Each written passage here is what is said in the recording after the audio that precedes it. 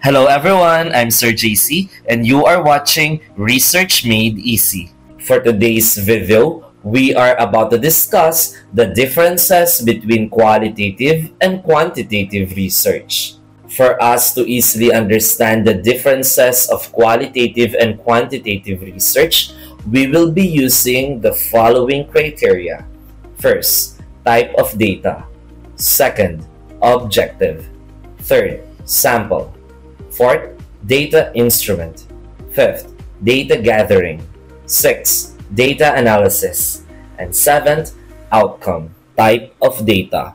In qualitative research, it collects words or descriptive data. It anchors narration of experiences and stories.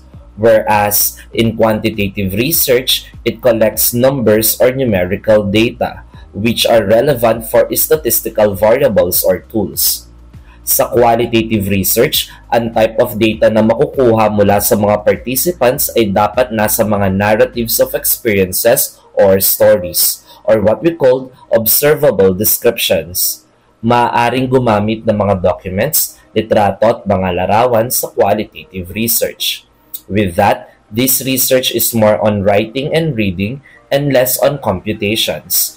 Ibig sabihin, it is more on words. Ang quantitative research naman, ang data na makukuha mula sa mga respondents ay dapat nasusukat, maaaring bilangin at kalkulahin. This research is less in writing and more on computations. Ibig sabihin, it is more on numbers since it aims to solve the problem using statistical tools. Therefore, qualitative research uses descriptive data, which means the data is expressed in words images, or observations. This type of research focuses on understanding experiences, behaviors, or social phenomena in depth. The data is non-numerical and often involves descriptions, interviews, case studies, or narratives. Examples of data in qualitative research are interview transcripts, field notes, and photos. On the other hand, quantitative research uses numerical data that can be measured, counted, and analyzed statistically. The data is more structured and objective and often collected through surveys or tests. The goal of quantitative research is to quantify the problem by way of generating numerical data or data that can be transformed into usable statistics. Examples of data in quantitative research are test scores, survey responses with numerical values or measurements. Objective Qualitative research aims to understand the human mind, whereas quantitative research aims to prove or disprove a hypothesis. Walang kinalaman sa mga hypothesis ang qualitative research.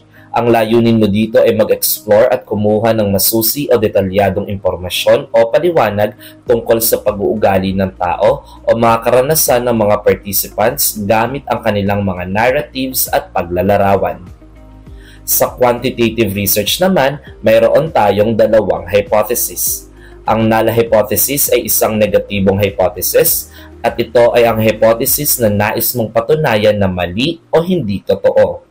Samantala, ang alternative hypothesis naman ay ang hypothesis ng researcher, na siya ang nais patunayan na tama. Ang layunin mo ay magbuo at mag-test ng mga hypothesis gamit ang mga nakolektang numerical data. Sa pamamagitan nito, maipapakita mo ang relationship, effects, and influence ng mga variables sa isa't isa. Therefore, Qualitative research aims to explore and understand phenomena in depth. Its objective is to gain detailed insights into people's experiences, behaviors, or social contexts. The focus is on understanding how and why something happens, rather than measuring or quantifying it. Researchers using qualitative methods seek to develop a deep, contextual understanding through interviews, observations, and narratives. Quantitative research, on the other hand, focuses on measuring and quantifying variables. The objective is to identify relationships or cause and effect links between variables using numerical data. It seeks to test hypotheses or theories and generalize results across larger populations. Sample Qualitative research uses small sample size that represents a target population, whereas quantitative research uses large sample sizes that represents a target population. Ang qualitative research ay limitado sa ilang participants or informants. Hanggat ang mga ito ay qualified ayon sa mga pamantayan ng mga researchers, maaari silang isama sa research conduct Usually, ang bilang ng mga participants ay mula 30 pababa, depende sa nature ng research problem. Ang quantitative research naman ay nangangailangan ng malaking sample size. Gumagamit ito ng iba't ibang techniques sa probability at non-probability sampling upang makuha ang tamang bilang ng mga respondents. Maaaring mag-iba ito mula 30 100 hanggang 1,000 na mga respondents depende sa nature ng research problem. Sa quantitative research, mas malaki ang bilang ng mga respondents, mas magiging reliable ang resulta ng research. Therefore, qualitative research typically ensures a smaller sample size because the focus is on gaining in-depth, detailed insights from the limited number of participants. The goal is to explore experiences, behaviors, and phenomena in a rich and comprehensive way. Quantitative research, on the other hand, generally needs a larger sample size because it aims to measure and analyze effects or relationships within a population. A larger sample allows for more reliable results. Data instrument In qualitative research, we utilize interview questions, which anchors open-ended questions which can be structured or unstructured. Whereas in quantitative research, it utilizes questionnaires, rating scales, and checklists. These are all close-ended questions which can be standardized or structured. Interview questions ang gamit natin na tool para sa qualitative research. Dahil dito, kinokollect at nire-record natin ang mga observable descriptions mula sa mga participants. Ang open-ended questions ay ang mga tanong na tumatalakay sa paano at bakit, or how and why. Ang mga tanong na ito ay nangangailangan ng masusing pagpapaliwanag or elaboration of answers. Kahawig ito ng pagsasagot ng isang essay maaari mong gamitin ang mga structured interview questions at unplanned questioning depende sa uri ng data gathering mo. Sa ganitong research, kadalasan, ang researcher mismo ang nagsisilbing instrument. Quantitative research, on the other hand, ay nagbibilang ng numerical data. Ang mga close-ended questions ay ang mga tanong na may pagpipilian or predetermined answers. Halimbawa, ang rating scale or Likert scale na binuo ni Rensis Likert ay nagpapahintulot sa mga respondents na i-rate ang kanilang antas ng kasiyahan o hindi kasiyahan o pagsang-ayon o hindi pagsang-ayon gamit ang numerical value. Halimbawa, 1 bilang pinakamababa at 5 bilang pinakamataas. Ang mga instrumentong ito ay kailangan ma-validate muna ng mga experts bago gamitin. Dito, ang nakakarami ang laging panalo. Wala din puwang sa quantitative research ang pagpapaliwanag ng mga sagot kung kaya't walang paano at bakit kundi numerical data lamang. Therefore, in qualitative research, it uses open-ended descriptive instruments like interview questions. On the other hand, Quantitative research uses close-ended numerical instruments like questionnaires, rating scale, and checklists. Data gathering procedure.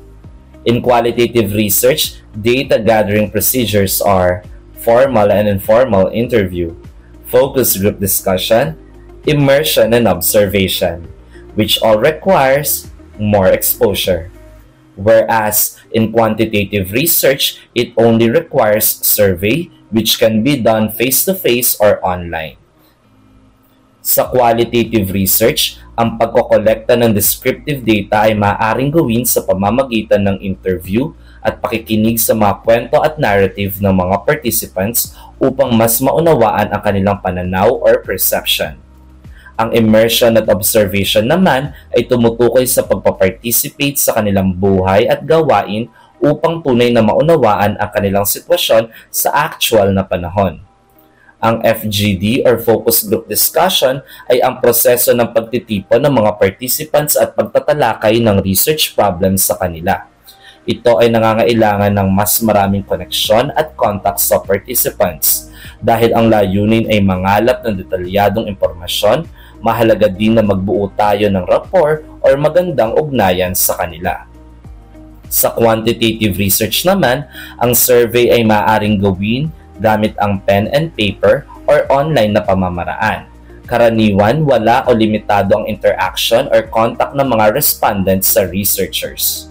Therefore, in qualitative research, data gathering is more interactive, flexible, and focuses on gaining detailed insights from participants using interviews, observations, and focus group discussion. However, quantitative uh, research requires more structured focus on gathering numerical data through survey, tests, and experiments that can be analyzed statistically. Data analysis. In qualitative research, we are non-statistical. That's why we will be anchoring the thematic analysis. Whereas in quantitative research, we are statistical. That's why we will be using statistical methods. From the data collected in qualitative research, we categorize them or aayusin natin ang mga ito ayon sa mga tema. They will be presented through charts with paragraphs. Whereas, from the collected data in quantitative research, isa sa ilalim natin ang mga ito sa statistical treatment o pagsusuri gamit ang mga statistical tools. They will be presented through tables with data. Therefore, in qualitative research, data analysis is more subjective, focusing on finding patterns, themes, or meanings in non-numerical data through methods like coding, thematic analysis, and narrative interpretation. However, in quantitative research, data analysis is more objective and uses statistical methods to analyze numerical data and test hypotheses focusing on patterns, relationships, and generalizations. Lastly, outcome. In qualitative research, we are reliable but with high validity. Whereas in quantitative research, we are also reliable but with high replicability. Ang qualitative research ay mataas ang validity dahil ang mga data ay kinokolekta at ini-interpret sa isang personal at mas natural na pamamaraan. On the other hand, ang quantitative research naman ay nagpapahintulot ng replication or parallel study. Maaaring isagawa ang mga parallel studies sa ibang setting o maaaring magsagawa ng pag-aaral na nakatutok sa ibang mga variable ng parehong research problem. Therefore, qualitative research excels in validity because it involves personalized and context-sensitive data collection. The researchers' active involvement helped to interpret data in a way that captures the true essence of the participants' experiences, leading to a deeper, more valid understanding of the subject being studied. Quantitative research, on the other hand, is more about standardization and replication and generalization.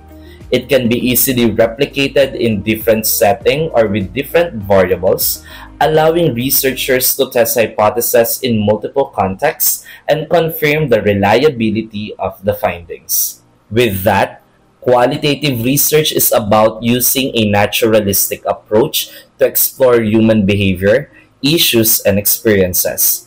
It relies on words and descriptive data to gain deeper understanding of the complex realities of people's lives, allowing researchers to uncover the rich and contextualized insights that are often not possible with quantitative methods. On the other hand, quantitative research is a structured and systematic approach that uses numerical data, to test hypotheses and examine the effects, impact, and relationships between variables.